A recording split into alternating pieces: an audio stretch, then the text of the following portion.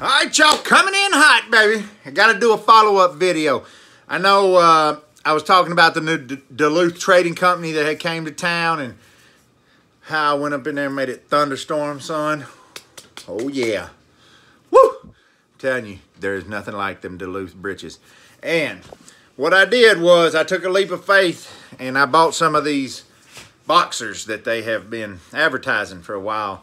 And my initial eh, I look I tried them on. Okay, they're comfortable, whatever. But I didn't really see the value 2250 in them.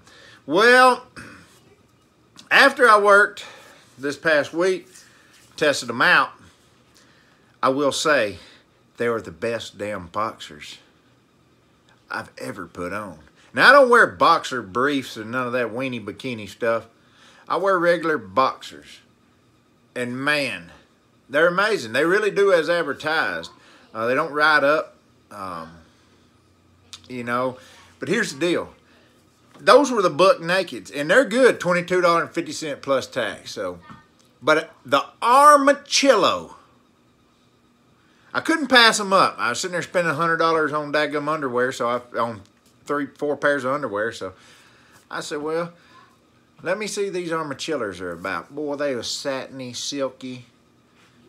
And it says, put them on ice. Well, that got me, that little slogan. Put them on ice, you know. So I said, well, I'm going to try these. I pulled them, turned around, look, 27.50. Well, I don't know what the $5 difference is, but I'm getting me a pair of each of them, two of each of them, and I'm going to find out. Well, I know what the $5 difference is, and it's worth it. It's worth it. The Buck Nakeds were the best damn boxers on the planet until I put on the Armachillos.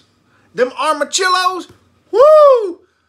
Man, I'm telling you, for the value, you feel like you're ripping off Duluth because you already paid $22.50 for the best ones you'd ever tried on. And for $5 more, boom, we just blow it out of the stratosphere and give you the Armachillos.